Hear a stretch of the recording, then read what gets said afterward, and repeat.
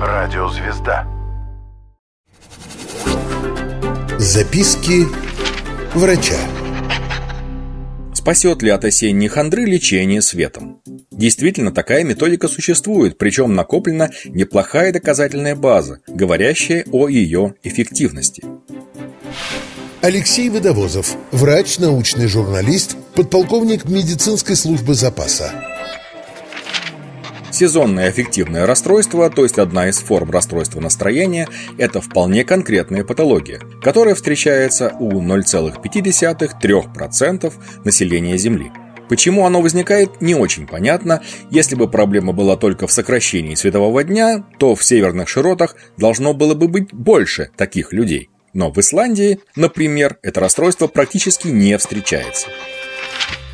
Тем не менее, лечение светом действительно оказывается полезным, причем как и профилактическое, так и как терапевтическое средство. Домашняя фототерапия включает в себя несколько важных моментов. Речь в первую очередь идет о достаточном освещении и правильном зонировании света в жилом помещении. Кухня, кабинет или гостиная должны освещаться ярко, спальня – приглушенно. Если одна и та же комната выполняет несколько функций, необходимо светотехническое решение, позволяющее использовать разные режимы освещения.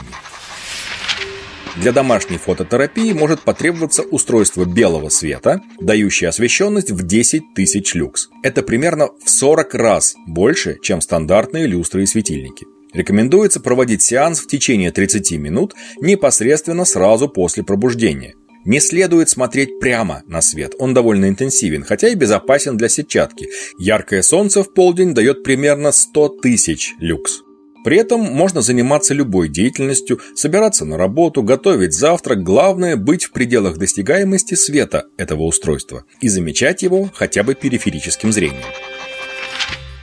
В том случае, если от подобной фототерапии возникают побочные эффекты, например, боль в глазах, беспокойство, головная боль, можно попробовать более мягкий вариант – имитацию рассвета. Для этого необходим специальный светильник с функцией программирования.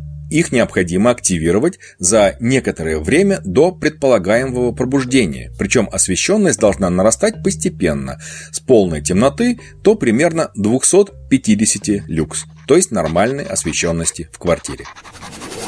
Алексей Водовозов. Записки врача. Радиозвезда.